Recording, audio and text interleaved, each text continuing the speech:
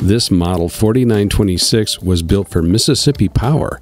It's a true multi-purpose trailer that functions as a command center and ATV hauler. The first features that really stand out are the awnings on either side of the trailer.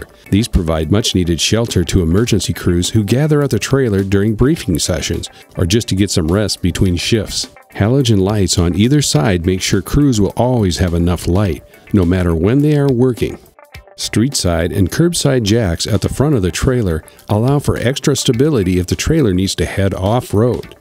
A generator ensures that this trailer will have power no matter where it has to go.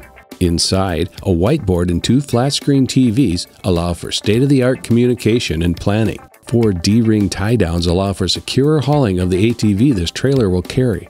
And when the ATV has been unloaded, three counters can swing down to extend the workspace area. LED strip lights on the coping and underneath the overhead cabinets complement the fluorescent lights to make sure people have a well lit working environment. An AC unit aids in keeping the group comfortable.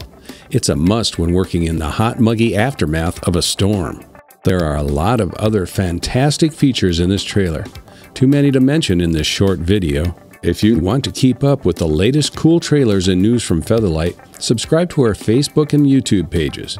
You can also visit our website, www.fthr.com, to find a Featherlite dealer near you.